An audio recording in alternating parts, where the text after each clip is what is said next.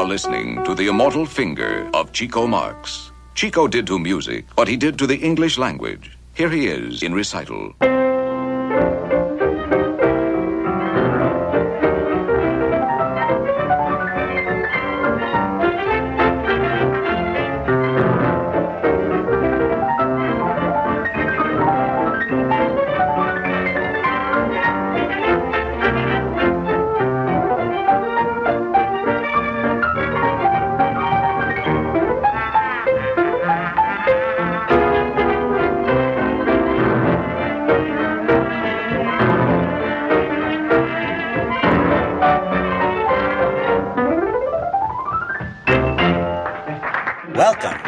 Brothers Council podcast, episode 14 Look at Chicolini.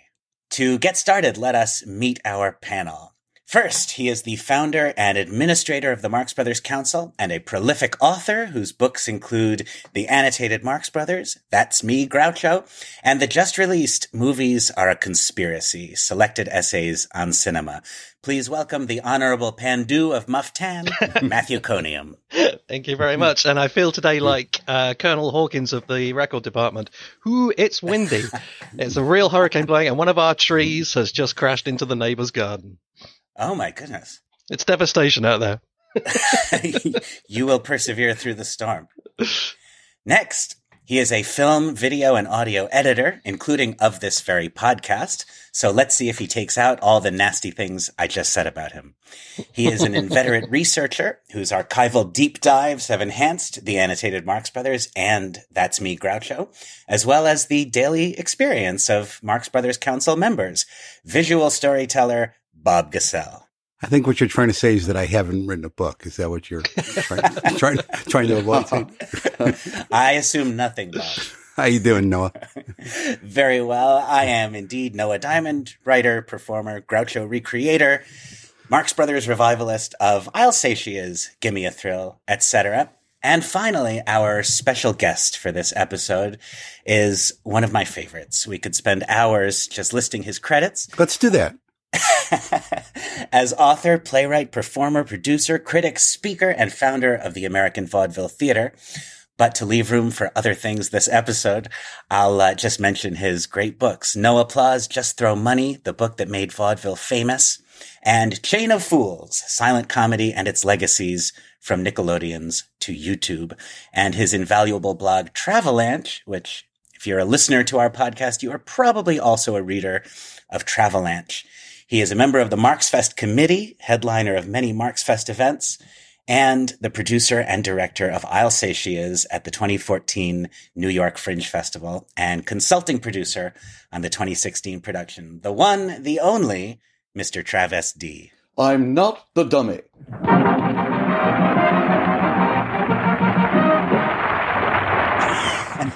we'll see. Uh, well, Trav, uh, why don't you tell us something about your early encounters with the Marx Brothers, what they mean to you, and how you found them? In junior high, there was this kid named Russ Silverstein who was doing the viaduct routine. And I, that, that might have been my first uh, exposure to Chicoisms. And I felt really inadequate that I didn't know. And, and the reason I felt inadequate was that he told me I was inadequate. So, and this is long before we had things like uh, home video and such. And uh, so my interest was piqued. And then it wasn't years years later. My my long term steady girlfriend was a classic comedy fan and uh, really sort of immersed me in it. And I just totally fell in love with it. Have your feelings about the Marx Brothers uh, evolved or changed over the years? Yeah, you well, I like most people, I'm not fond of their the last half of their movie career. And as time goes on, and you've really, really, really absorbed the movies you love, uh, to the point where you feel like, well, I don't need to watch it. I can just um, recreate it in my head. I can. I don't need the DVR. I can just watch the movie in my head. Uh, so it's been interesting to try and watch the later ones now and try and find the good in them. Uh, I I think you'd be surprised if you watch them with audiences. I bet um, you know, sort of fresh faced virgin audiences would uh, laugh more than you think that they might and enjoy it more than you think they might. And if you're there with them, uh, you might get more out of it. So that's that's one that's one way that I, I've been trying to sort of re-engage with them after all these years. Did you uh, talk to me recently about a, a, positive experience you had had with room service? Yeah, you know, and the, it helps. We, you know, I, I never had a, a, large screen TV before, among other things. So, uh, one gag in particular, you know, they're all starving and they're waiting for the food to come, and it finally comes, and and then they all gobble it really fast, right? And then after that happens, Harpo, who's been acting just as hungry as the others, pulls a banana out of his pocket and eats it. And he not only does that, then he pulls another banana out of his pocket and he eats it. All this time, he had no reason to be hungry. Uh, so, but if you're watching that on a crappy little TV, you're not going to catch that gag. Um, and yeah, and I just sort of, sort of try to watch it with uh, with a liberal yeah. spirit that this isn't going to be a Paramount movie. This is going to be what it is, you know, and enjoyed it a great deal.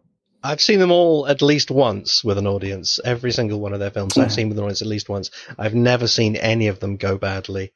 And uh, yeah. my my only memory really of seeing Love Happy, which I've only seen once uh, with an audience, was was the man sat next to me at the end, turning to me and saying, "I enjoyed that."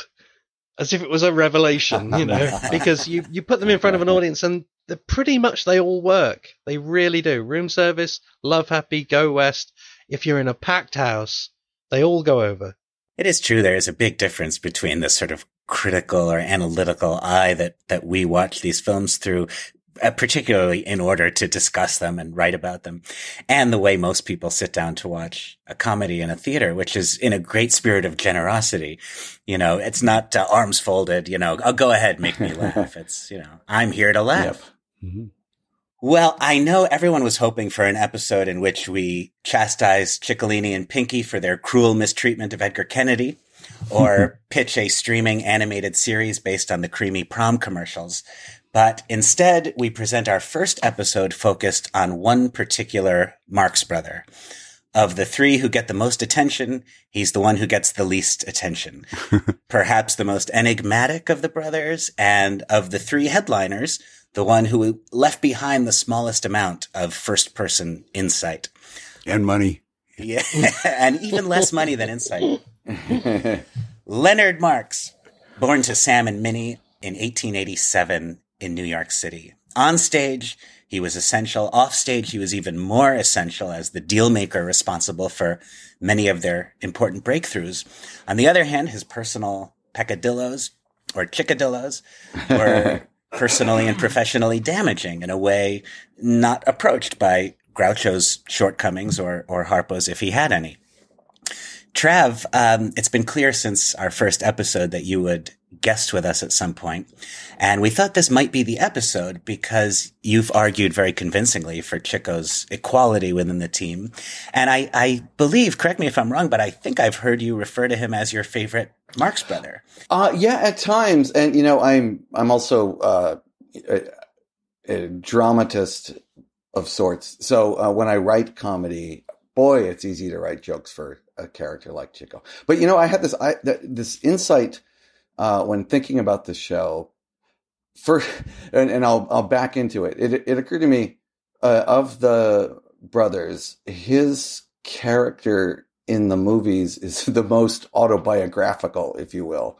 Um, and then it occurred to me, you know, we're accustomed to thinking. I mean, yeah, those of us who are into their backstory and stuff know that uh, that Chico was their manager and sort of an off-screen leader in a way. Um, it occurred to me that, uh, in a way, and, and, we're accustomed to think of Groucho as the on-screen leader because he's so verbal and stuff. But uh, if you think about it, as the eldest brother, he kind of set the tone. He set the metronome for the the f- dynamic of how the brothers were in real life and it spilled into what their act was this sort of criminal uh you know scheming anarchistic lowlife who doesn't uh, you know they don't none of them respect laws or institutions and uh, you know they chase every skirt they meet and um and in a way even though groucho founded the act uh technically as a child star in a way the founder of the of the act in reality is Chico.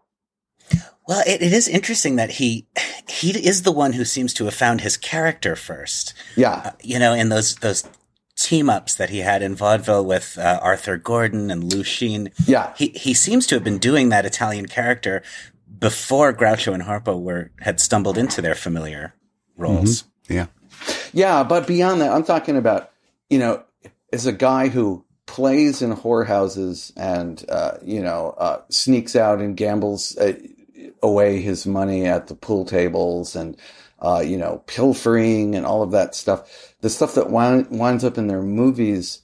Uh, you, you know, how is it that Groucho and Harpo even evolve these characters who are in the same world as that? Like, how does that even come about in the first place? Because you know, if you um, you go down any any number of vaudeville comedians, that's not their shtick. You know, it's only the Marx Brothers shtick, really. Yeah, that's interesting. So uh, the the uh, milieu for a lot of the Marx Brothers' work was a more natural habitat for Chico, maybe than for the others. Yeah, yeah, yeah. Right. Going, you know, going back to the the classroom sketch. You know, it's about disruption and anarchy, and it would have been interesting to see if prior to Chico's joining, they were so you know it, they were such hellions. But I, it feels like when he comes into it, uh, it becomes about improvisation and uh, you know causing a ruckus on stage and off stage and not having the decorum you were supposed to have in vaudeville. You were supposed to be very disciplined in vaudeville, and they were the antithesis of that.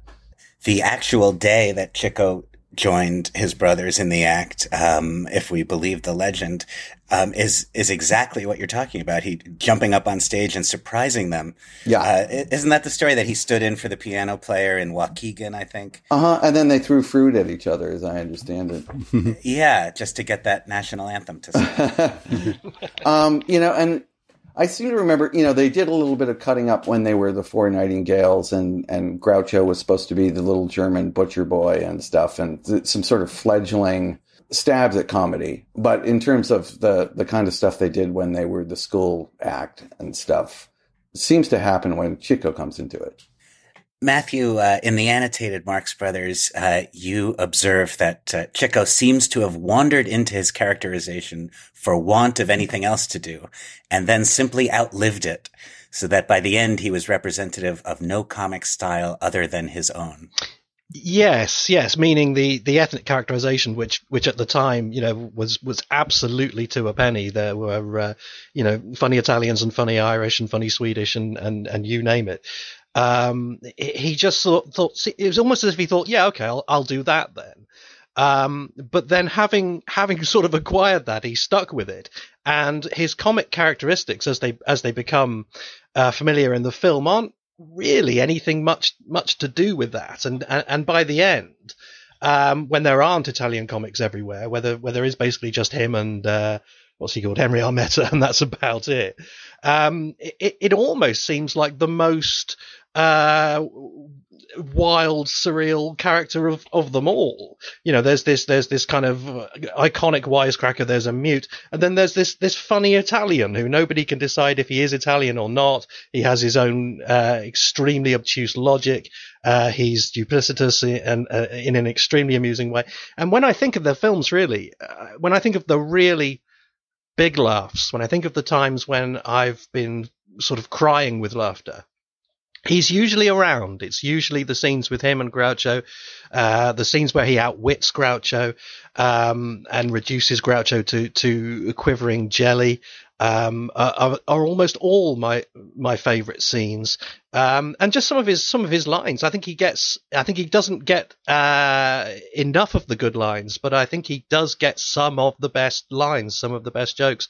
Uh, then we save money on chairs is such a such a good joke, you know, and uh, the, the, the house next door and and all that stuff. I mean, I think for for sheer laughs um, I would have to put him right right at the top, and it, and it's very very interesting to see how he kind of built that that comic persona up, not only uh, you know from, from from modest beginnings, but from uh, stock beginnings. For me, uh, the most interesting thing about Chico was figuring out uh, how seriously you're supposed to take him, uh, uh, the character that is not not the guy. Um, he'll say the most totally ridiculous things, but uh, sometimes he's totally serious, and other times it's followed by, "Hey, that's a some joke, eh, boss?" you, you just never know where he's coming from. Um, a good example being the auction in Cocoanuts. You know, is is he stupid or is he trying to annoy Groucho? You never really know. Who'll say 300? 300 dollars. 300 dollars. 400. 400. 500. 500 600. 700. 800. What the heck I care? Um, it, I, you suspect he's just having fun ruining Groucho's plans, but you, you can't be sure. He's kind of dumb like a fox sometimes. Yes. Uh, he seems to be, um, you know, his bewilderment uh, is there when it works for him. I guess by the time they get to MGM, uh, there's usually some sort of motive behind uh, his irrational talk, uh, whether it's taking advantage of Groucho or stalling with the aviator speech. But uh, I think I prefer it when he just did it for no reason. He is the most ruined by MGM, yes. He's the guy who carries the luggage and brings mm. the car around front and wants the help of those um, kids. Um, I, I, think there's a, a, certain level at which he's he's you know neither. He's there's a level at which his exchanges in the Paramount movies are are uh, vaudeville crosstalk that's just planted in there, and you know there's not supposed to be any real conviction that there's reality that's supposed to carry the plot along. You're just mm-hmm. laughing at jokes for the sheer effect of jokes. The Italian characterization seems that although it had some element of social parody or I, I, suppose not social criticism, but it had some social currency when it was new. But it seems to, um, in the 30s, evolve into strictly a vehicle for humor that that was uh, unique in the team. I mean, you could write puns for Chico that Groucho couldn't pull off um, because of that dialect, the extra a sounds, and the, yeah. just the music of his voice. Uh, lent itself pretty well to puns that I think you know, writers like Kaufman probably wouldn't have tried to get away with in anyone else's mouth. I just wish we could hear the the act when they all had various uh, dialects. When Groucho was a German, and when uh, Harpo was the Patsy Brannigan, and Gummo. Uh, I think sometimes he's referred to as uh, you know the Yiddish character, sometimes as more of a the ingenue guy. Mm-hmm. Uh, and then sometimes I, I, think I've heard Groucho referred to or read Groucho refer to him as a Nance, like a you know guy who's kind of light in the loafers. Yeah. Um, wouldn't that be amazing to hear them all to do their? They basically they'd all be Chico in that scenario. In a way, his his character was um, maybe more consistent with the other the rest of the team in those days but yeah. it's interesting that although Groucho and Harpo had yet to really evolve into their characters who are familiar to us, the Marx Brothers were already an established comedy act when Chico joined them. Yeah. And I, I, I, don't see any evidence that what Chico did with his brothers was any different from what he'd been doing with those previous partners. So I can't really make a case that he developed that character specifically in order to provide something the act needed. Yeah, well, that's what they all did that back in the day. Mm-hmm. Uh, do you think it's possible that he um, was responsible in some way for the marginalization of the fourth Marx brother? Like when it was Groucho, Harpo, and Gummo, um, perhaps they were more equal, but now that uh, the big brother is here, it means that Gummo and later Zeppo is going to not be left with many table scraps. Yeah, possibly. Yeah. Yeah. You know, I get when I, I was just rereading Maxine's book, and she she made she had an interesting observation that uh, that uh, the off-screen Zeppo was too much like Groucho, and so she had a theory that Groucho didn't like that kind of competition, uh-huh. uh, which, hmm. which, is something I'd never heard before. Because hmm. I always think of uh, Zeppo being referred to as being more like Chico, in that he was you know kind of a roughhouser and yeah, he was trouble. Yeah, went to the track. Bob, in our uh, Marx Brothers in the 21st and a half century episode, uh, you raised the question of whether aspects of the Marx Brothers work um, could be or perhaps are seen now as being politically correct, politically incorrect, or offensive in ways that they weren't then. Um, preparing for this episode, I, I did a, a fairly uh, deep internet search mm-hmm. trying to find any testimony by anybody accusing Chico of, um, you know, uh, offensive caricature, and I really couldn't find much of that. Well, there was that guy in uh, the big store. The uh... that's why I'm looking for something that no look like a bed. Well, you're gonna worry no more. I got just the thing you want. Well, get a flash on a microphone how I talk. I know microphone. I'm the same national like you.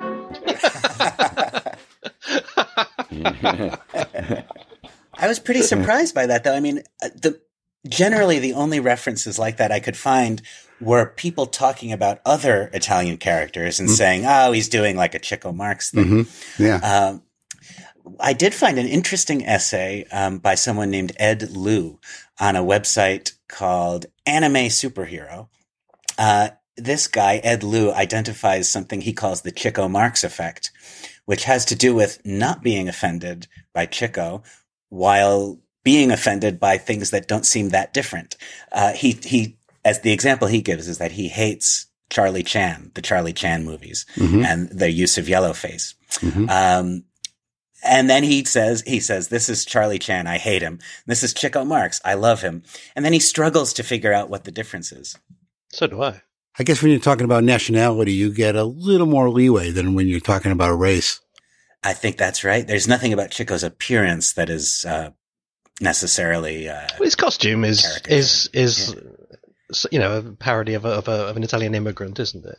Yeah, he looks like he should have the the organ grinder monkey. You know, the, uh-huh. but um, there may be there may be an aspect where it's so phony and so counterfeit that there's no danger of it. You know, it's not like you know people get offended at uh, The Godfather or Goodfellas or something because it really makes you know a certain ethnic group look bad. But if you're as, you're so unrealistic as Chico is, then there's little danger of being mistaken for somebody you might encounter on the street. You know what I mean? Yeah, and, and maybe there's something about um, although certainly in the 19th and 20th centuries. Um, Catholic immigrants to the United States certainly were discriminated against, but we don't really think of Italians as a as a marginalized group I don't think in in well, Sacco and Vanzetti is the big case of where ah. you know. But you're right. There's not we we're accustomed to thinking of that thing of no dogs are Irish need apply, and obviously right. African Americans and anti-Semitism, and you're right. It, it, Italians don't seem as to have been as demonized quite as much. It is interesting though, isn't it? In um in the actors, it finally evolves.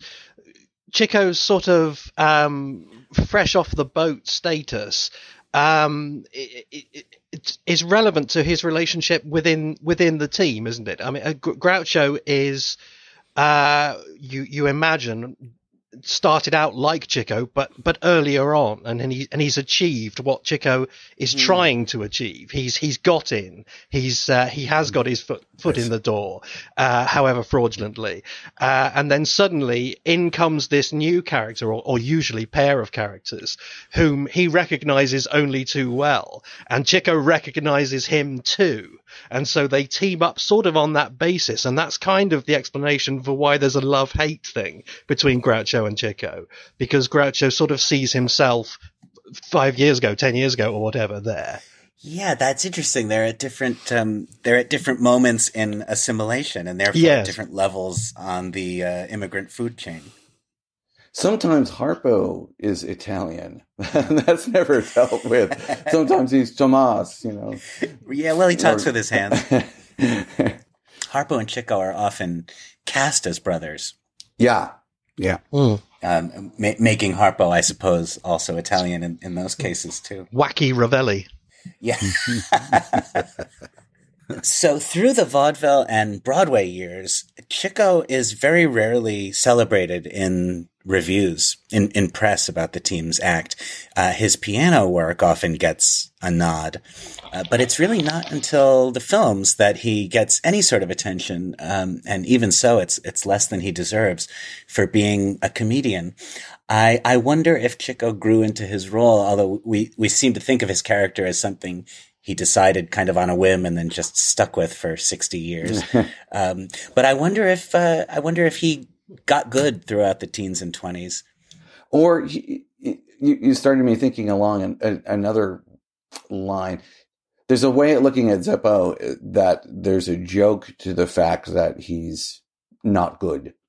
Mm-hmm. Uh, that he's that he's there to sort of poke fun at the usual role of the male ingenue or whatever, and maybe uh, and you sort of get a sense that you know if any of the four of them are the typical archetypical uh, vaudeville performer, it's Chico. It's almost like he's doing uh, cheerfully, happily doing bad vaudeville routine. Um, and ground, in a way, the entire act is kind of subversive in that way. Because if you ever watch Henny Youngman or uh, uh, early Milton Berle, when he's just rapid fire firing those jokes, it sounds very Groucho esque. So there's a there's an element to it that they're like this encyclopedia of uh, of vaudeville, you know, and so on some level, you're not just laughing with them, you're laughing at them a little bit. I sometimes think the, the great strength of Chico as a comedian is, uh, is in his timing. I, I, mean, I guess that's true of any comedian, but uh, Chico had, I don't know, maybe the, maybe the best comic timing I've ever heard. Yeah. It's, it's so, it's so good. It's so rhythmic. And it makes sense that as a piano player and a, and a, a with a good mind for math, uh, that he would be a, a, master of rhythm. Sometimes he'll, he'll take that beat and it's just a beat, but it's just the right amount to make the joke really hilarious. Now, what is it that has four pair of pants, lives in Philadelphia, and it never rains but it pours? That's a good one. I give you three guesses. Now, let me see. Has four pair of pants, lives in Philadelphia. Is it male or female? No, I don't think so. Is he dead? Who? I don't know. I give up. I give up too. Yeah, and and and again, the dialogue gives him all these extra syllables to make it a little even more euphonous. Do any of you guys have any recollection of your initial impressions of Chico when you were a child first watching the films? I do recall thinking that he was the friendliest of the of the main three. Uh, you know, Groucho was confrontational and Harpo, you know, usually freaked people out, but Chico usually engaged people before confusing them or taking advantage of them. Um, I guess you could see why someone like Miss Judy would befriend them as opposed to uh, one of the others. Um, you know, when they went to MGM, he sort of took over that role from Zeppo as the portal to the real world. And, you know, he, he had the, he had the, the engaging personality, which allowed them to use him that way. Uh, yeah, it's even though it, it does seem like a violation of his character, his surface qualities lent themselves well to that kind of avuncular, um, harmless uh, immigrant character. But I never, re- I never really gave him a, a lot of thought when I was younger. But then I, when I, I was, you know, in junior high, I was a big fan of the team, and uh, Welcome Back, Kotter came on. And we that's that's really funny you mentioned that because I think my first uh, experiences of it were secondhand and and like you know impressions by people like Robert Hegyes and yeah. Um, I there was he, the characters were rendered in like a Mad Magazine parody once. Mm-hmm. Uh, what I probably read long before I saw them in the movies. One thing I was going to ask was um, an awful lot of um, his persona, his appeal, uh, what people know about him now is is heavily informed by what we know about the real man, by his his uh, profligate mm-hmm. sexual tastes, by his gambling, uh, and all and, and, all those things. Um, I would imagine anyone coming to to them, uh, certainly from my generation onwards, certainly now, uh, that's that's absolutely not only public knowledge but also very much at the heart of how we perceive him. But presumably through his through his actual active career, uh, that that predated uh, the general awareness of that, didn't it? Meaning people saw the performances and didn't know the backstory. Yes, without without that You're being saying, such yeah, a heavy right, informant, right. which I which I would argue is certainly the case now. Yeah. Well, look at what I was trying to suggest earlier. I feel like it bubbles into the their act. You know, like in the Cocoanuts, they they steal from the cash register. You know, mm. and they steal wallets and things. I feel like you know why is that even on their minds as comic material? I think it's it's kind of like who they were, how they ran the streets in Yorkville. You know. Yes. Yeah. Right. Yes. It's not stealing. Well, then I couldn't do it. he just feels very, very authentic in that way, doesn't he? Yeah, we, we do often ascribe to his character things that were true of him in real life. that are sometimes to be found in, in the films, but not always. I mean, I, I don't think, um, you know, uh, prodigious sexual appetite is ever. no, but no, that's really that's Harpo, isn't it? And he occasionally restrains him. Yeah, yeah. Chico occasionally says, "No, no, not yeah, now, not yeah. now. We've got to, we've got to do this." You know, yeah. And I, I think that's you know, uh, but the the germ of it initially is Chico, and it trickles to the other brothers. Again, I'm reading Maxine's book. When Chico got married, all the brothers put the make on Betty, Chico's mm-hmm. wife. They're like constantly chasing girls, and that winds up in the movie and like literally manifested. So even though Chico's character doesn't do that per se, mm. uh. I, I, feel like his brothers sort of took took uh, leaves from his book. You know. I love the one moment in uh, A Day at the Races when Harpo has found out that uh, that Flo is going to be framing uh, Hackenbush, and he, and he wants to go communicate it to, to, to Chico, and he goes finds him, and he's like entertaining like a gaggle yes, of girls, yes. and, and, with a blindfold, and, and Harpo has to pull him away. Yeah. yeah. Yeah, that's true. That is a. I mean, he's unquestionably, you know, interested in women, but. Um, oh, and then the the moment in Horse Feathers when they all put the make on Thelma Todd, and he comes and he gives her a smack on the face. I mean, a kiss, not a hit smack, and says, "Now, do you want any ice?" Yeah. but the gambling never really comes in, does it? I mean, if you look at Abbott and Costello um, in their early films, they're constantly gambling, aren't they? But I, I can't think of many occasions, if any, where, well, the, where that bridge game. The bridge game, yes, yeah, okay, but I mean, again, that's crackers. that's a social ritual, isn't it? Which he which he subverts. But it, you would think he mm. might be constantly, you know, constantly laying little bets on things, you know. Um, but as we know, Chico had um, perhaps the least input into their scripts uh, of all the brothers. And it's possible if he had been more in on the crafting of these stories, maybe they would have focused more on his, uh, yeah. you know, his personal preferences. Um, well, what about the real life Chico? He he's the hardest to know, certainly of the three major mm. Marx brothers, because as we've often noted, he he didn't write a book. He rarely gave interviews, and when he did, he was almost never personally uh, forthcoming about anything. Um, we we've been encouraged to find him lovable in terms of his, you know, personal foibles. Um, I think he was probably lovable, but also caused a considerable amount of pain for mm. the people close to him, including mm-hmm. his brothers.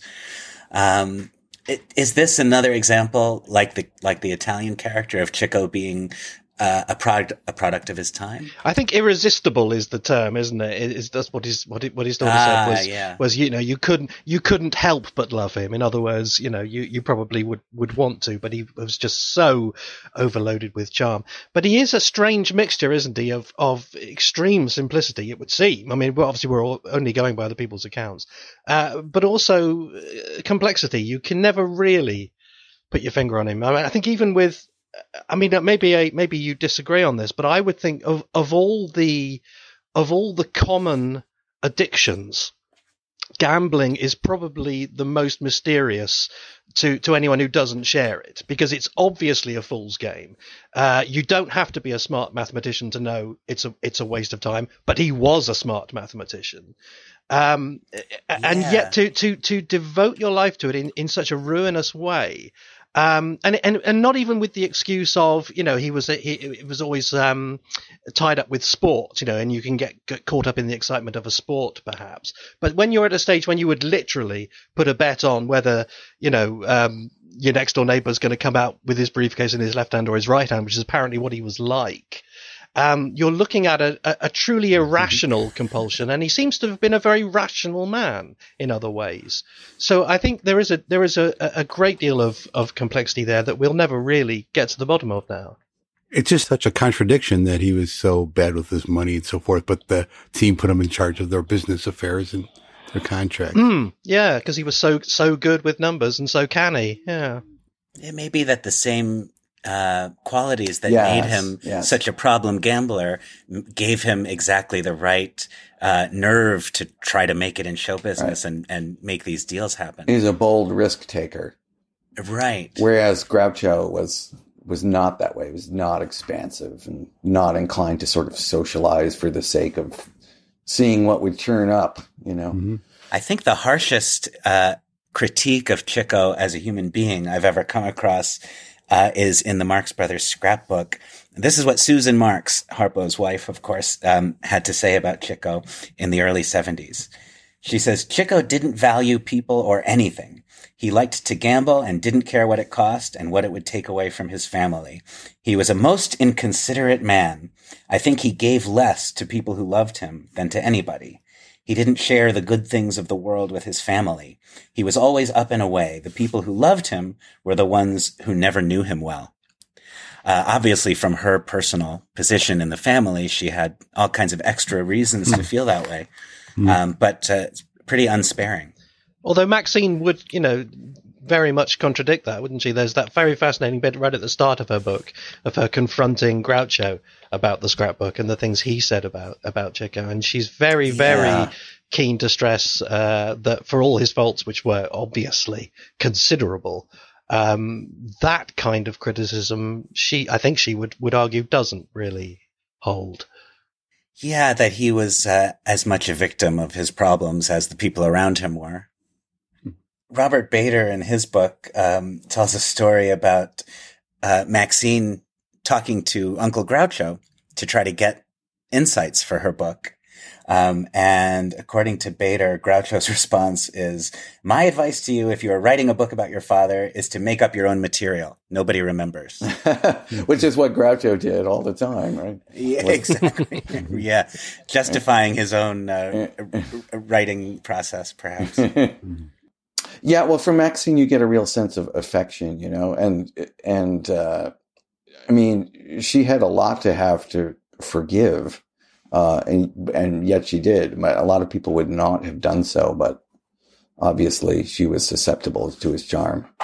It seems like it might have been very important to Maxine um, and to uh, her son uh, Brian Culhane, who who helped her write the book, that, to kind of set the record straight and, and make uh-huh. a case for Chico's importance. And I think she really wanted there to be a book about Chico, um, since there were books about Groucho and Harpo. Yeah, uh, but you know, some one of the oft-told tales about um, about his marriage has to do with Betty. Betty saying something like, you know, no matter what he does, whenever I hear his feet on the doorsteps, you know, I get excited. Mm. Um, you know, basically, I, am I'm, I'm still madly in love with him, even though he has hurt me so much. Um, but it does seem like a sort of publicity friendly version of a very painful situation. I'm guessing it was a different story when he heard her feet on the doorstep. I'm guessing all hell broke loose. he leapt out the window. Yeah. well, actually, if I can, um, if I can uh, hog center stage for a moment, because uh, one of the most important Please. things about uh, Chico is that, that, that there is so very little we know about him. I've actually compiled a list of my my top five favorite Chico news items. Um, if you're a member of the Marx Brothers Council Facebook group, you'll know that Bob has uh, has just very recently reposted the all-time classic, the uh, a, a, newspaper in where was it? Was it Lincoln, Nebraska? Somewhere, Lincoln, Nebraska. Uh, yeah, point, yeah. Uh, published a story that uh, Chico's plane flew over and didn't stop, um, which is which is uh, a, really, a, wonderful thing to, to, put in the news. Um, but here, here are well, they ran out of gas and they had to go back. here, here are five other uh, classic Chico news stories. Um, in in fifth position is the story of him trying to sue Warner Brothers over being mentioned in the film Rhapsody in Blue, and according to uh, which newspaper you consult, the reason he wanted to, to sue was either because he was quoted in the picture as endorsing certain piano playing techniques which he did not approve, or because the film gave the impression that he once played piano in a theatre in a cheap neighborhood. oh my goodness! Can you can you imagine? uh, in position number four, we have the Milwaukee Journal of the 16th of October 1949, which tells us Chico Marx is negotiating to buy As Girls Go By. He will, of course, play the Bobby Clark part. Interesting. Wait, Chico will play the Bobby Clark part? Yep, apparently. In position number three, we have the, the, the Reading Eagle, 30th of November 1956. Paddy Chayefsky is writing a play for Chico Marx. Very nice. In second place, we have the New York yeah. Post, 11th of March 1941. Chico told reporters that henceforth his movie role will be Grimballs, a Greek, instead of Ravelli, the Italian. but my all-time favorite in position number one has to be the San Bernardino County Sun of January the 12th, 1941. Chico Marx was sued for $15,300 today by a theater patron who charged he fell over the movie comedian's feet at a showing of a Marx Brothers picture in a Hollywood cinema house. Louis Rudner, a salesman, declared he suffered a sprained shoulder and numerous bruises because Chico's feet completely blocked the aisle. wow. So Chico is attending a Marx Brothers movie. yes. Is that it? They're, they're, they're watching a Marx Brothers movie and Chico is there and this guy yep. trips over Chico's feet. and sues him. For... and sues him. He deserves to win for chutzpah. It's interesting you point out the Greek thing, uh, Matthew. I just only yesterday TCM showed a short with George Givot, who in his whole shtick was that he was he, his character was Greek, and so that was a thing. You know, maybe maybe it, it put a bug in his ear to like maybe, or maybe the reporter was just bullshitting. but, so, can I ask a question here? No. What time is it? No. Uh, um, no, no. How are you enjoying the show, Don? did did Chico do himself a disservice by not uh, evolving or abandoning his character uh, once we got into the 40s and beyond? Could he become a character actor? I'm sure he would else? have loved to if the Other offers were, were forthcoming. Yeah. I'm sure he had the talent to do it. I mean, I would have loved to see him in some, you know, semi-serious acting roles later in his career. But I don't know. Maybe there's more of an argument that he did himself a disservice by abandoning his comic character. I mean, I don't know if we can imagine like a, a quiz show in the 50s hosted by the character Chico played in, in the first few films. Mm. Although I am imagining it, and it's great. yeah. yeah, you bet your life. It's pointless, you know, all the wrong answers to all the questions, and yeah, it would be fantastic. I mean, it demanded this supply of great material. And I think Groucho had the kind of mechanism of wit to elevate bad material when he was saddled with it. Um, Chico seems to have not been a judge of material. He'll he'll say what's ever on the page, and uh, I get a real sense that in the 40s, uh, younger people were really down on vaudeville's style humor, and things were changing really rapidly. And uh, and Italians, yeah, well, no, no, real Italians, you know, Sinatra, you know, and Lou Costello, those people were flourishing in the 40s. It's it's so I think like real Italians were in, but uh, what the place for Chico would be in that is gets kind of confusing. Right. Sorry, you're not Italian enough. What's what's the uh, Grou- I, I, can't believe I'm blanking on this. The, Groucho's second solo movie that he does with Sinatra and uh, is it Dorothy Lamour? Double Dynamites, Jane Russell. Jane, Jane Russell, Jane Russell. Uh, Double Dynamite. I, I when I watched it, I'm like, it, it, would never happen in a million years. But I'd rather have Chico in the role of yes. a waiter at an Italian restaurant who's a gambler than Groucho. Yes, it doesn't make yes. any sense for Groucho to be that guy. Yeah, I suppose it was always true that Harpo and Groucho both had maybe more of a fan following. I, I, mean, are we aware of any attempts to do for Chico what they were trying to do for Harpo in, in Love Happy? There are some stories, there are some reports, but I, I can't imagine there was any ever anything and much he had to that them. Sitcom. He had his sitcom. He had his uh, college bowl series. Uh, there was talk of him being yeah. in a western called called Dusty Trail, but uh, that uh, that was a Lester Cowan, so it was probably all horseshit. I, I don't know, but um, there's lots of reports of, of things he might be in, but he, he never is. It never comes to anything. His best chance uh, was was being a band leader. You know, he had a real real shot at that. I think he, he, he could have you know he could have he could have succeeded with that, but I think he just he just spent everything before it came in again, didn't he? Yeah, I, I, think especially at that point, he really was just feeding the beast of his mm. gambling addiction. Mm-hmm. Uh, in the search for personal insight into who this man really was, uh, one is constantly confounded. And a good example of that is a letter that I stumbled upon in the Groucho Marx collection at the Smithsonian, uh, which uh, Matthew has spoken about uh, quite a bit. It, it's a letter written from Chico to Gummo in 1947. Oh yes, Chico yeah. is in London, uh, appearing with his. Yeah, exactly. The most revealing thing about this personal letter is that he misspells Gummo's name. G U M O. Uh, you, Matthew, have rightfully um, presented this as evidence that they weren't nearly as hung up on their names Mm. and how to say them as as we sometimes are. Um, but you know, you find a personal letter from Chico Marx. It seems like, uh, it, well, it is a very rare find. Uh, but he doesn't. He doesn't offer much. But again, he's giving nothing away, is he? In that letter, there's nothing personal. There's nothing familial. It's uh, it's very, you know, it's it's it's uh, fully literate. You know, it's it's perfectly written. It's it's the, in a nice hand. But there's no there's no personality there, is there? Except that you know that the, the basic the basic point of the letter is is he's doing someone a favor, isn't he? He's he's suggesting to Gummo that the the British comedian Max Wall might make um, a, a, a good uh, client for his agency. Yeah, right. He's putting in a word for this Mm. other performer, and um, the rest of it, yeah, it's all business. Dear Gummo, received your letter and naturally was delighted to hear from you. I, I mean, it doesn't sound like any Chico Marx we know, but then again, we don't know him.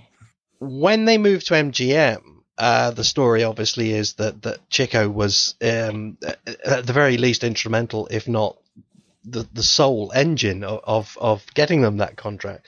Certainly, he was he was a large part of it. Um, as we all know, at that point, their billing changes on screen.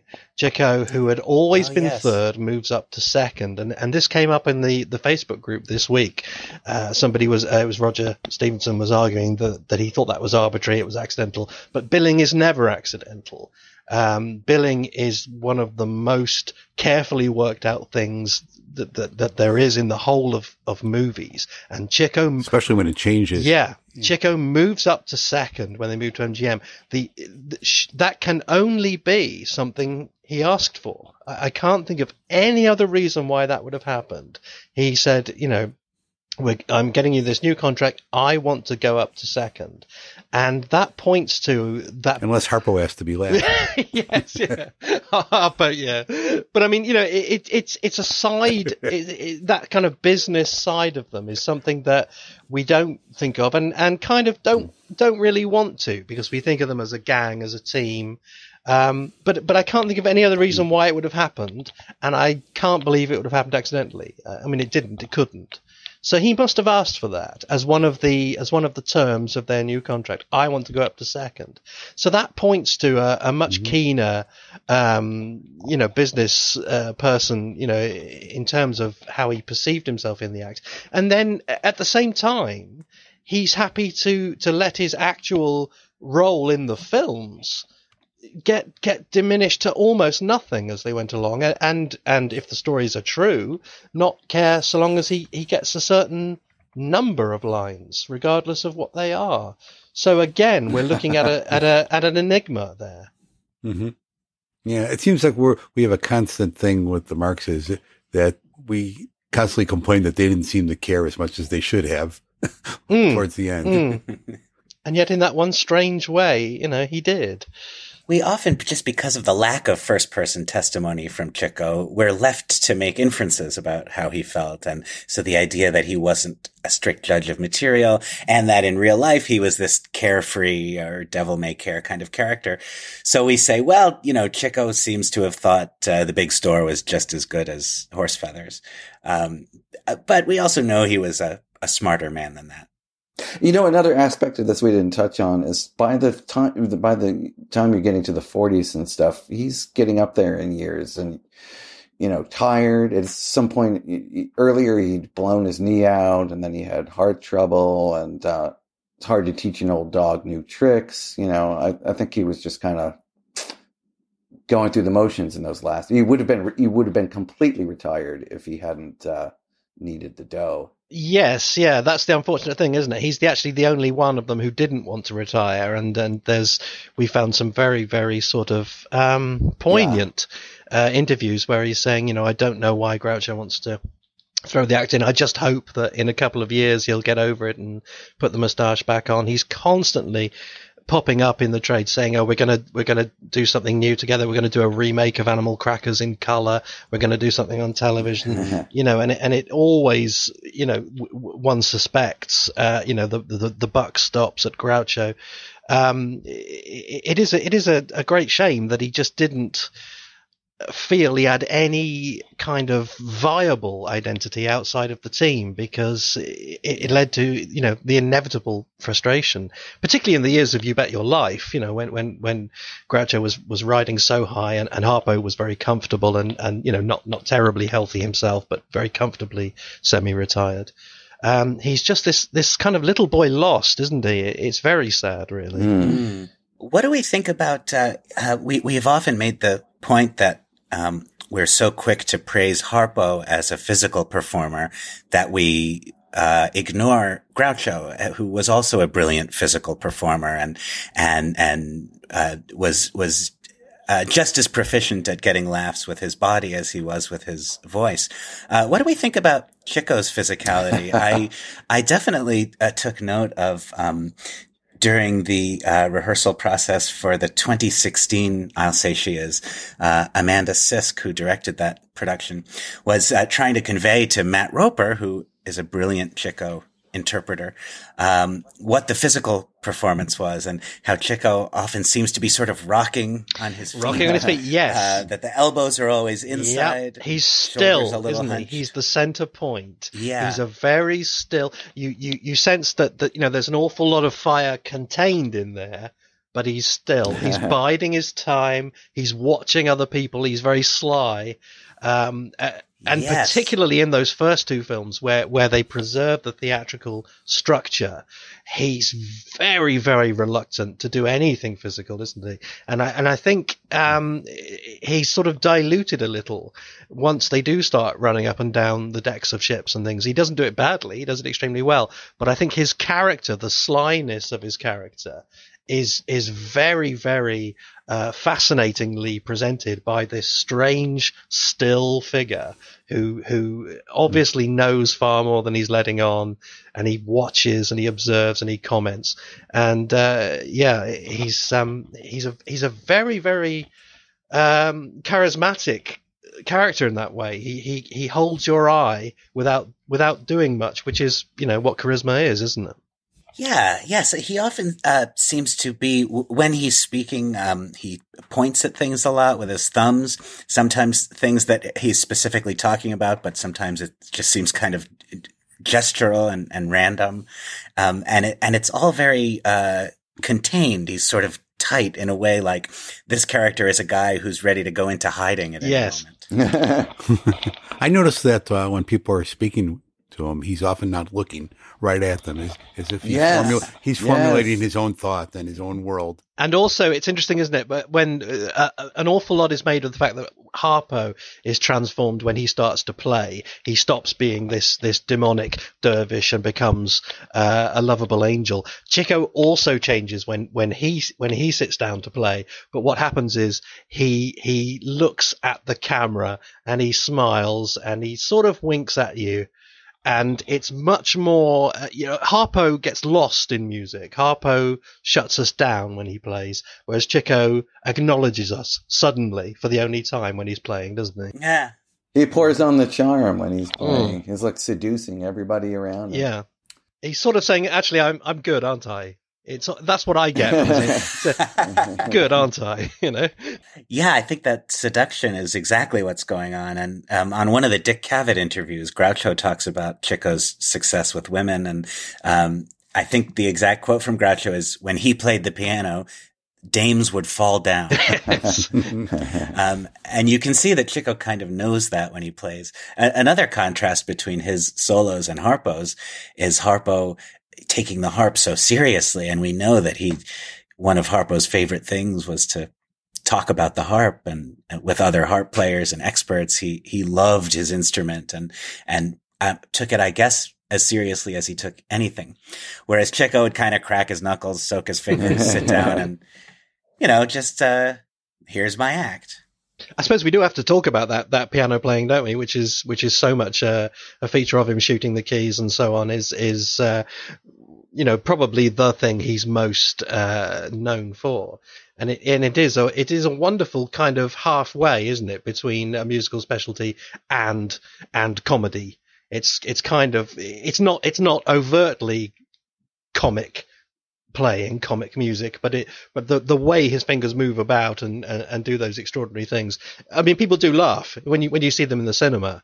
People laugh at, at his at his extraordinary dexterity in those in those musical numbers. Oh yeah, unlike Harpo, he's much more in character when he's playing. Whereas Harpo sort yeah. of becomes this other being.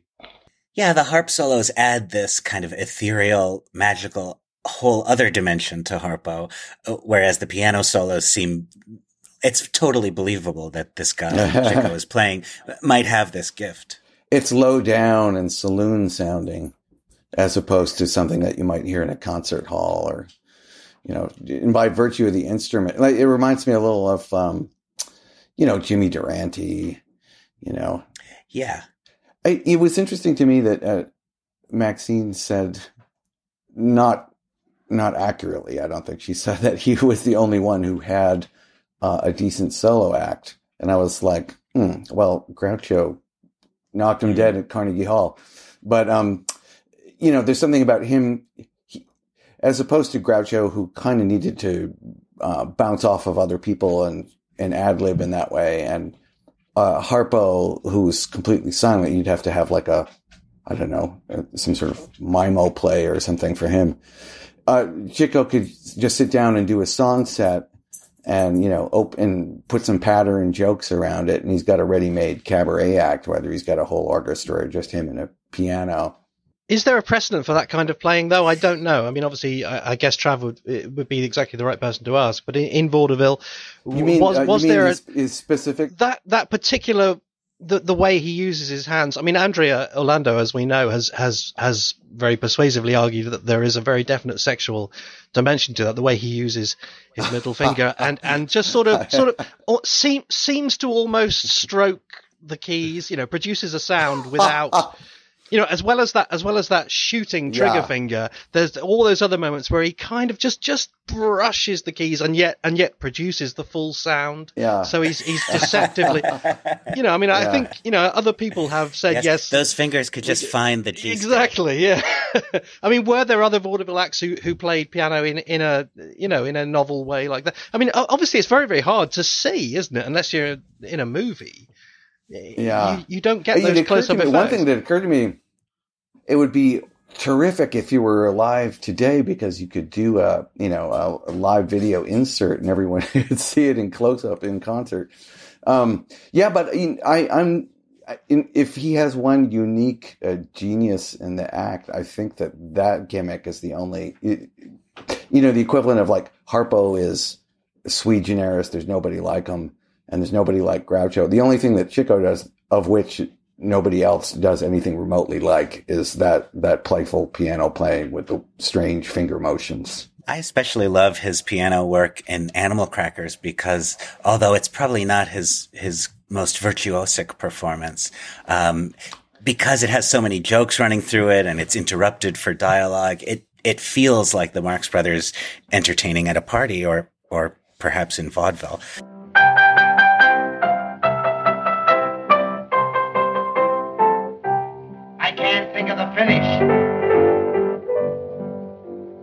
That's strange, and I can't think of anything else. Do you guys have any other uh, piano solos that are favorites or, or, are noteworthy? I love the one in Horse Feathers because he's really he's really uh, putting the make on Thelma Todd. You watch it and it's working. I feel like they're uh, they're not acting. There's some real chemistry in that scene.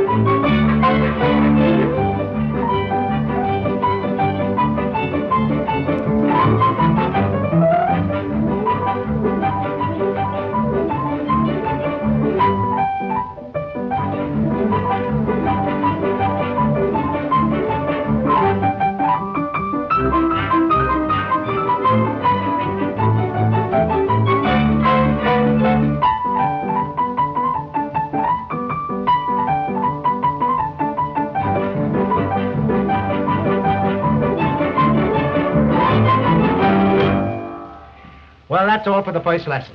I come back next week and teach you how to breathe. And don't breathe until I see you again. Yeah. I mean, I love them all. I could watch him play piano forever. I just, I just, I just find yeah. it extremely entertaining as a, as a, as a punter, as a paying customer. I, I really do relish that act. You know, I, w- I could go and see him play for an hour. Um, I, I love, absolutely love them all. I mean, mm-hmm. as we know, you know, there's no need to get into it again, but I, I do resent the way they're cut down in, in the MGM films. Um, but right up to the end, you know, the one in Love Happy where he's doing the, the you know, with, with the guy with the violin. Um, I could just I could watch those fingers for hours. Well, in in the last movies, very often I feel like the musical interludes are the only watchable portions. Really, I think the big mm. store that thing that Harpo does with the like Hall of Mirrors or something. Yes, uh, Harpo's harp. I'm like, oh, yeah. I'm like, oh, this is okay. You know. It seems that this was an, uh, Harpo and Chico both had this advantage. I mean, if they just had to entertain people, um, they could always play their instruments and Chico especially because pianos are just more ubiquitous than harps. Um, Groucho never quite had that. He needed either, uh, his own intellectual resources or, or excellent material in order to entertain people. Although he did have, you know, he could play the guitar and, and that's true. At the piano, he was actually much better than all right, I take it up. Although when he did the the Carnegie Hall concert, I think he, did he have Harry Ruby with him or someone? Marvin Hamlisch. Uh, Hamlet, yeah, that's right, that's right. Uh, this is Marvin Hamlisch.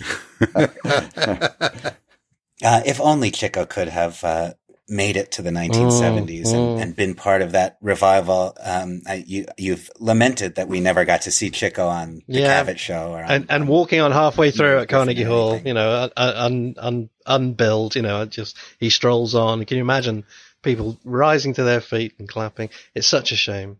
Besides, you know, Chico totally smoked weed. yes, yes. I'd bet money. I'd bet money that he smoked weed. I would too, and I, I think he's the source of the the, the, um, the marijuana grouch bag. Yes, the grouch yeah. bag. Yeah, yeah yes. little marijuana. yeah. Yeah, well, he's often. I think it's Groucho who said Chico had more fun than the rest of us put mm. together. Although the one thing Chico was not adept at was uh, imitating Harpo. We must uh, say uh, that. yeah, I, I, think it was yeah. "I've Got a Secret." He he shows up in in Harpo's costume, and his secret is that he's actually Chico. yeah, there does become, I suppose, partly because he didn't take great care of himself. Um, his uh, very late appearances, um, there is something sort of undeniably sad about his uh, physical appearance um, in in some of the the latest television appearances. It's just so unfortunate that in his last, you know, real, real performance in the Incredible Jewel Robbery, what was he like, 73 mm-hmm. that he had to give a strictly physical performance. Yeah. it's a joke. Um, Harpo does, I guess, well enough for himself, but Chico's talents are just totally wasted. Yeah. And then Deputy Sheriff, obviously what survives of that. He's a piano player. I'm a piano player. I fix him. Yeah, it is. It is a, a pity. It's yeah, and sad. being prompted from mm, off stage mm. or from off camera um, so clearly because he needs the prompting. The other thing I, I think I suppose to to to um, cover is is the uh, the whole Chico needed the money thing, which is uh, anyone who's yeah. who who is in any way involved with with Marx fandom knows that that's a kind of a a, a comic catchphrase now because Chico needed the money, and the idea was that the, almost almost everything you see of them in their final years was because Chico needed the money. Um, it, it, obviously, it's not entirely true. Um, it's important to to stress that that Chico always wanted uh, a Marx Brothers revival. He he never wanted them to stop, and he always needed money. So so there was no real, you know, the, the idea in particular that a, that a night in Casablanca was made because he he was he owed money to gangsters and was you know was going to be shot and this. I mean, obviously they just give him some money. They wouldn't make a film. They wouldn't they wouldn't hire writers, producers, music writer, you know, and, and, and mount a film and spend a year on it um, that they didn't want to do just to give him some money. They had plenty of money. They'd give him some money. The the obviously a night in Casablanca came about because Groucho had gone a long time without much work, certainly without any film work. And as I as I as I uh, hint in my book. It it seems very very likely that Gummo actually held back the offer of Copacabana until after Groucho had signed for Night in Casablanca because he wouldn't have done otherwise. Um, so the, that ah. you know Gummo was very much shopping around uh, a Marx Brothers movie to various producers at, at that point. Uh, similarly, Love Happy uh, sort of came about because because Chico needed the money, but but only in a very roundabout way, which is that uh, Lester Cowan asked them to do a Marx Brothers movie, and Harpo said no, and Groucho said no, and Chico said yes. So so Cowan Cowan then went back to Harpo and said, "Well, look, you know, Chico's on board. You know, would you reconsider?" And it was at that point that Harpo thought, "Hmm, hang on a minute. I, I, I do have this project that I've been waiting about six years to do. Um, that is basically my film as long as Groucho's not around, I don't suppose it'll be much of a problem if Chico is too. So that's that's kind of how Love Happy came about. Chico was was signed first, or was was mm-hmm. you know Chico ag- agreed first, um, and then uh, and then Harpo ca- came on, and then it was the kind of the final insult was was when it was eventually packaged as a Marx Brothers movie. But but the the, the most interesting, I think, it, for, for for Chico fans story in relation to that is is how they were paid. Um, very much like the characters in the film. Um, they were they were doing it for love, or Harpo was doing it for love, and they didn't receive any um, payment up front. They had a percentage share of the profits, and um, Chico is full of this in, in the trades. He says, uh, "I'm all for making pictures in which in which we own a share. This is the first picture where we've never taken a dollar in advance. But uh, what the paperwork shows is that in actual fact, Cowan had loaned him eight thousand five hundred dollars against his percentage payment, oh, and oh, no. uh, the the splendidly uh, Groucho-esque named I. H. Prinzmetal, who was the attorney." attorney for uh, for the, the production company wrote to Lester Cowan to say, uh, I I was quite appalled when I was informed that you had executed a check on the, the account of Artists Alliance to your own account in connection with expenditures for your personal attorneys and expenditures to Chico Marx, which are not covered by any of our agreements. From a personal point of view, I must confess I am particularly shocked and greatly disturbed. So it seems almost certain that once those profits did come in, as as small as they were, uh, Chico basically paid back a loan. wow. Here's, here's, something I find sad is that uh, Chico has the Columbus bit in Monkey Business, and he's got a Columbus verse in Everyone Says I Love You and Horse Feathers. And then in uh, The Story of Mankind, he's relegated to the role of Columbus's friend. and you don't Chico even notice be, him. I think, yeah. Oh, I, the first time I saw it, I missed him completely. Yeah. I was like, where was Chico? However, isn't it true, Trav, that you compensated for that somewhat? Yeah, I did write a. Pl- I wrote a play in which Chico was Columbus, a female Columbus. Yeah. Uh, yeah, the Chico needed the money uh, meme uh, seems to have begun with Groucho, and just this morning, I was kind of flipping through the Marx Brothers scrapbook letting my eyes land on Chico's name wherever I saw it. Um, and Groucho constantly says Chico needed the money. It's his his explanation for mm. everything, like from 1955 onward, and obviously Gilbert Gottfried has has turned it into a number one hit. well, we've avoided it long enough. Shall we talk about the great roller derby fiasco of 1949? Please do. Well, uh, Chico at the uh, ripe old age of 64, came to Paris to help promote a roller derby by putting on a uniform skates and, uh, promptly got flung over the rail. Luckily, he recovered and came back and scored 17 points uh, on a jam to win the match. this is all preserved on film, by the way, which uh, we'll post on the blog. And, you know, it was a new direction that I guess Chico chose not to pursue. Is that really true? Some of it. Oh, okay.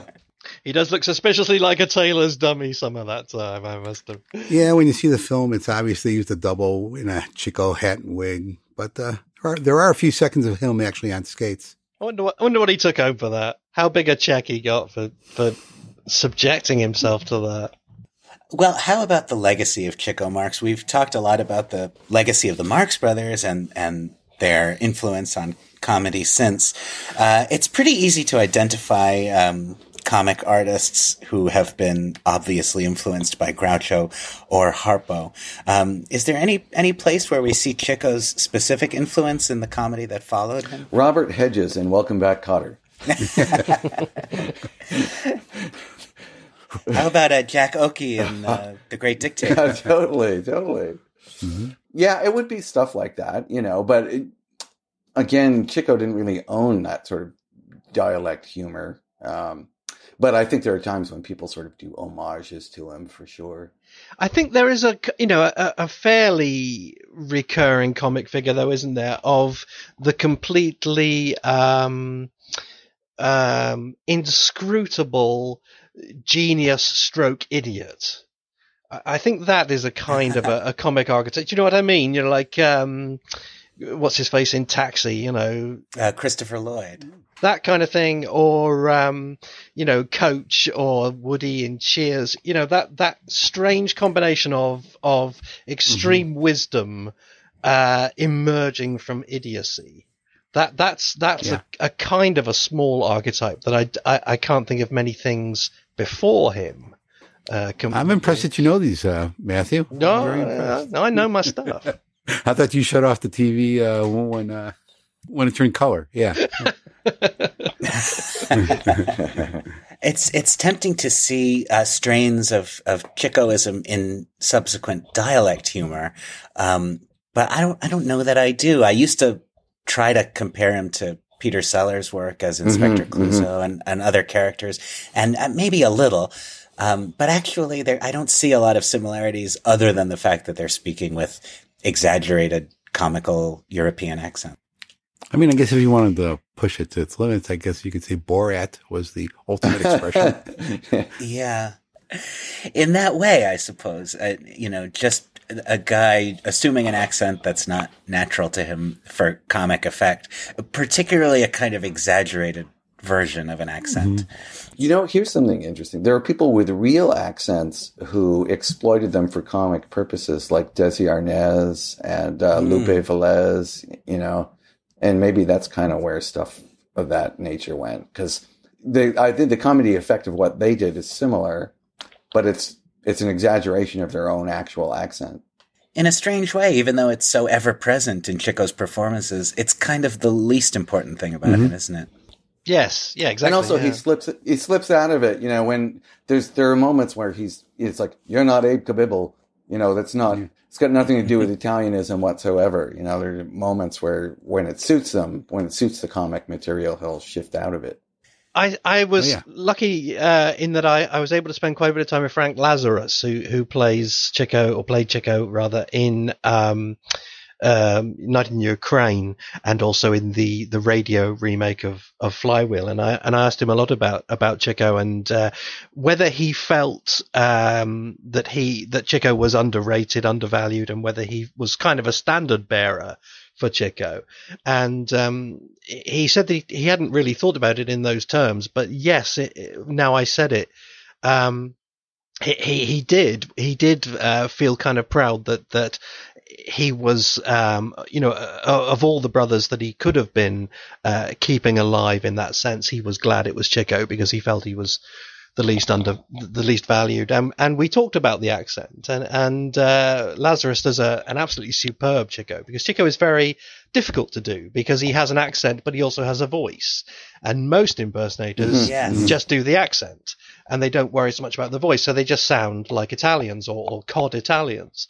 Um, but but Frank Lazarus said to me that the, the key to finding Chico was that he doesn't really do an Italian accent first and foremost, he has a New York accent. And then there's a very, very thin bit of Italian pasted on the top, was how he described it. And I think that's fair enough, isn't it? Absolutely. I think Nat Perrin is on the record somewhere saying that on at least one of their projects, Chico used to ask him for line readings because Perrin did a better Italian accent than Chico. and I always think, well, that's not hard. That's not a hard claim to make. and maybe in a way, that's one of the saving graces of Chico's character, why it never really comes across as a caricature in any kind of demeaning way. Um, because he's, it's, it doesn't seem to be based on any kind of observation of Italians, although I suppose it, it does originate in, on the streets of the mm. Upper East Side. Uh, one of the most frequent arguments for Chico's importance is that neither Harpo or Groucho was was all that um, comfortable as a character on screen without him. And, you know, as we all know, there's very few Groucho and Harpo scenes. Um, it's usually one of them uh, with Chico. Um, but even this kind of, it argues for Chico's importance by saying he was important to Groucho and Harpo's, you know, screen presence. Um, Chico's lone importance uh, is, is, I think we've probably uh, established pretty well. But any of the three of them, um, they were more important as a team than they were as individuals. And Chico's reliance on Groucho and Harpo um, is, in a way, confirms that um, that the team was always greater than the sum of its parts. But specifically, I think with with Chico, um, I would say that the the thing that, that, that I most kind of associate with him or, or take from from his performances is that I am somebody who has seen every one of their movies far more than anyone was supposed to see. Like all of us, you know, the idea was you go to see them once, maybe twice, uh, then television comes along, maybe a couple times more, video, okay, maybe once or twice, but nobody was ever intended to see their films as much as we four have seen them. We've seen them a ridiculous number of times. so now at this point, when I've seen them dozens and dozens and dozens of times, it tends to be Chico that that that I that I watch the most and get the most from. Uh, Groucho and Harpo are absolute masters. They are peerless, but I I I I've got the measure of them. I know what they can do, and it's mm. it's Chico who can still occasionally just surprise me with a look or a reading or something um, Chico is the one that I haven't quite got the same handle on. Um, he's a he's a, a loose a loose cannon, a free spirit, in a way that I think uh, perhaps because we know more about the real Groucho and the real Harpo from their from their autobiographical writings, perhaps because he's a more of an unknown quantity, but he's a more of an unknown quantity, I think, in the films. I agree. Yeah. There's a subtlety also. Um, some of what's funniest about Chico is not really in the jokes as much as in the his attitude, his manner, and his small reactions to the things that the others are doing. I, I have a cool quote here from Groucho in 1942, if you'd like to hear it. I would. He's a diminutive, dynamic combination of Ponzi and Casanova, who disregards all the laws of life and constantly snaps his fingers in fate's kisser. He gambles with everything. But who knows? Maybe he has the right idea. Even though he looks like an idiot and talks like an idiot. All of which leads me to conclude that the Marx Brothers Council podcast was hosted and produced by Bob Gassel, Matthew Coniam, and Noah Diamond, and edited by Bob Gassel. Our special guest this episode, Trav S.D. please, by all means, join the Marx Brothers Council of Facebook for an ongoing Marx Brothers celebration and conversation. You can read Matthew Coniam at marxcouncil.blogspot.com. You can read TravSD at travsd.wordpress.com. You can find out all about me at noahdiamond.com and Google Bob Gassel. See what you get. We're on Twitter now also. Oh, good point. Yes, we are on Twitter as well as YouTube as the Marx Brothers Council podcast. If I may, I'd like to recommend vaudevisuals.com because I'm being brought to you today through the courtesy of uh, vaudevisuals.com. Hmm. Yes, our good friend Jim Moore, and uh, another great resource on the web for entertainment junkies. Hmm. Thank you for having me, gentlemen. Thanks for being had. Everyone, check out uh, Trav's blog. It's it's really wonderful. Thanks, guys. And of course, you've known, not just from the beginning of this episode, but probably from the day you were born, that episode 14 would end with this. What is the first number? number one.